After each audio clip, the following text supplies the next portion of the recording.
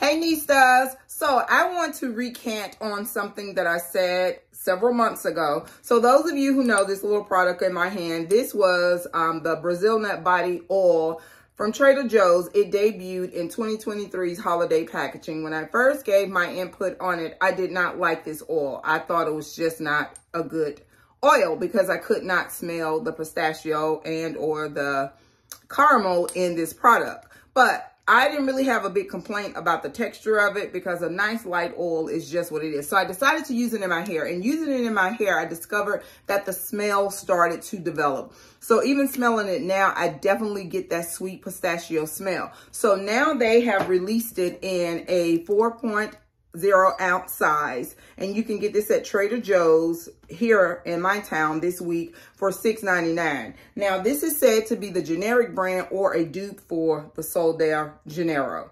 This product here, you guys, it retails for $52 at Sephora.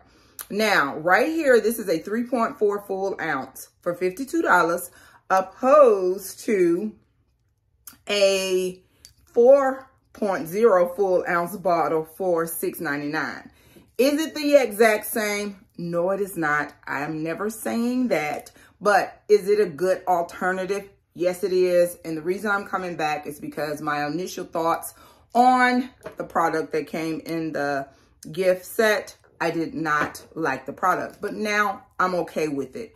I think it has to sit a while and allow the sweetness and the fragrance to develop in it. But just wanted to share my thoughts on that. Thank you and see you guys the next time.